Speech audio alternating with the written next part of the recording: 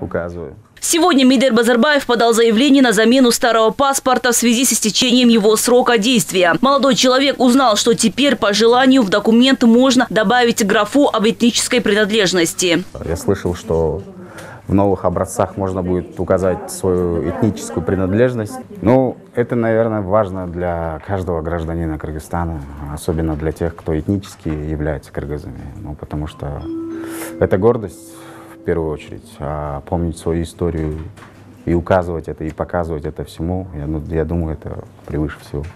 До 2017 года этническая принадлежность указывалась в паспорте каждого кыргызстанца. Но с появлением биометрического паспорта эту графу убрали. Все данные хранились на чипе. 15 декабря ее премьер-министр Артем Новиков подписал постановление, по которому национальность в документе вернули. Согласно данному решению, теперь граждане по желанию могут указать свои этнические принадлежности в самом паспорте.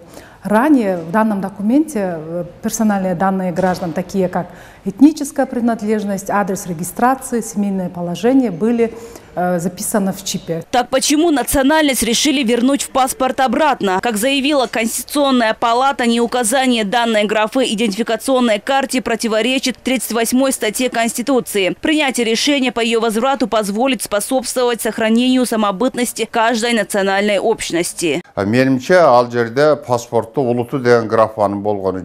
Я, конечно же, поддерживаю это решение, так как каждый человек вправе определять и указывать свою национальность. Также никто не может быть и принужден к этому. Указывая свою национальность в официальных документах, гражданин как бы сообщает о своей этнической принадлежности, и в этом нет ничего страшного. Кыргызстанцы, которые пожелают вписать свою национальность в паспорт, могут подать заявление в любой центр обслуживания населения. По словам специалистов ГРС, вся техническая база для этой работы готова.